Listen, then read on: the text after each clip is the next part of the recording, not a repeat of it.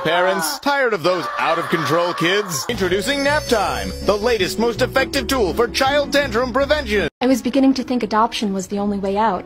Then a friend of mine introduced me to nap time. It's never been so quiet around here.